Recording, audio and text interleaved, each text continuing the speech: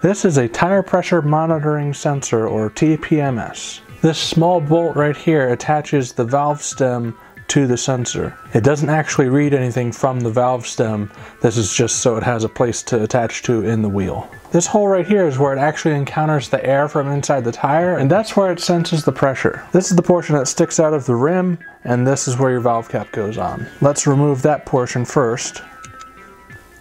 Alright, there's the screw that came out and this just slides off and there's the stem.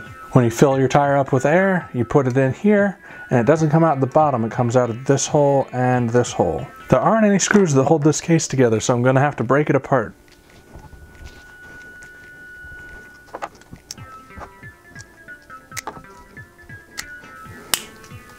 Interesting, it looks like these are melted together.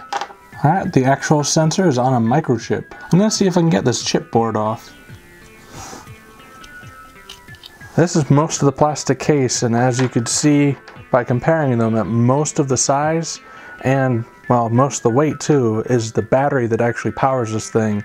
Although they obviously don't design these to be serviceable, the battery in here is a CR2032 which is actually a very very common battery size.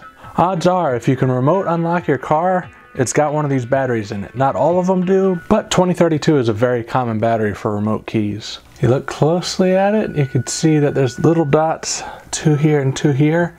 It's actually slightly tacked on into place so it doesn't get loose. Since we have it apart, let's see why this thing went bad. First, let's test the battery out. And 2.9.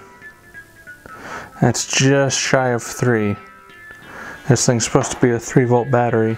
Has some resistors knocked off here, but that might have just been when I took it apart. Unfortunately, I don't know enough about electronics to do a pin by pin test to see how this failed, but hopefully this satisfied your curiosity about what these look like on the inside.